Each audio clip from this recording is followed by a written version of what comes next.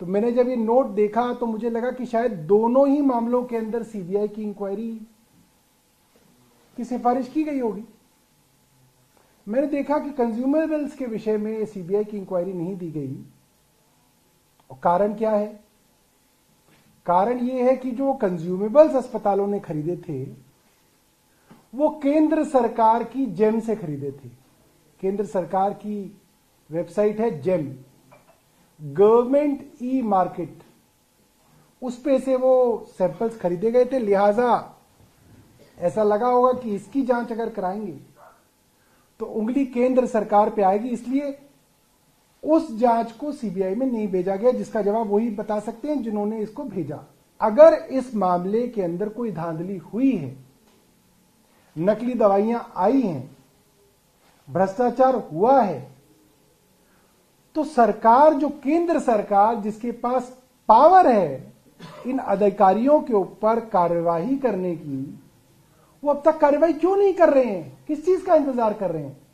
भाई, आपको पता चल गया भ्रष्टाचार है, आपको पता चल गया सैंपल फेल हो गए हैं, आपको पता चल गया ये अधिकारी जिम्मेदार है, इसकी ये जवाबदेही है तो उसके ऊपर कार्रवाई क्यों नहीं की जा रही है?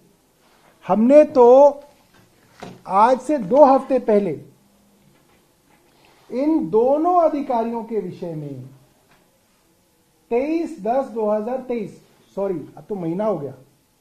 आज से पूरा एक महीना पहले तेईस दस दो हज़ार तेईस को माननीय उपराज्यपाल जी को अपने मुख्यमंत्री जी के रस्ते ये सिफारिश की हुई है कि इन दोनों ही अधिकारियों को एसबी दीपक कुमार और डॉक्टर नूतन मुंडेजा को सस्पेंड कर दिया जाए और इनके ऊपर विभागीय कार्रवाई की जाए। अब तक इनके ऊपर कार्रवाई क्यों नहीं की गई?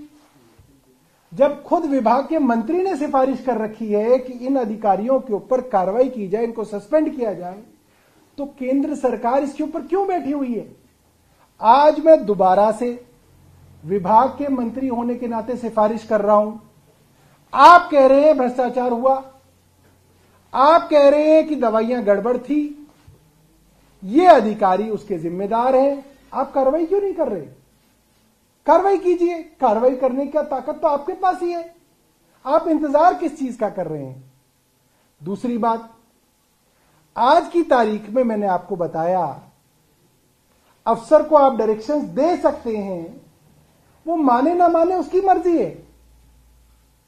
मैंने मौखिक और लिखित एक नहीं, दर्जनों डायरेक्शंस इन अधिकारियों को दी हैं। इन दवाइयों के ऑडिट के विषय में स्पेसिफिक मैंने आपको दिखाया 21 मार्च 2023 में मैंने डायरेक्शन दी है। और वो डायरेक्शन पूरी नहीं हुई, उसका रिमाइंडर दोबारा से मैंने उनको लिखित में जुलाई में दिया कि भैया इसका क्या हुआ एक्शन टेकन रिपोर्ट दो, उसका भी कोई जवाब नहीं आया। तो अधिकारियों की जवाबदेही तो केंद्र सरकार ने खत्म की है। केंद्र सरकार ने अधिकारियों की जवाबदेही खत्म कर दी है। They are not accountable to the elected government of Delhi they are not accountable to me they are not accountable to the minister मंत्री के प्रति उनकी जवाबदेही ही नहीं है। थैंक यू केंद्र सरकार। तो आप हमसे क्या पूछ रहे हैं? उनसे पूछिए। और उनसे पूछिए जिनके प्रति उनकी जवाबदेही है। अब यह कहना कि भाई साहब भ्रष्टाचार हो रहा था, मंत्री मिलकर भ्रष्टाचार कर रहे थे। अरे जो अफसर हमारी मीटिंग में हमारी डायरेक्शन नहीं सुन रहा, उसको मैं कहता हूँ, आपने देखा होगा पिछले तीन हफ़्ते से मैं रोज जो है अस्पतालों के अंदर जाता हूँ, सरप्राइज़ इंस्पेक्शन करता हूँ। सरप्राइज़ इंस्पेक्शन के अंदर मैंने हर बार स्वास्थ्य सचिव को कहा कि आप इस इंस्पेक्शन में आ जाइए।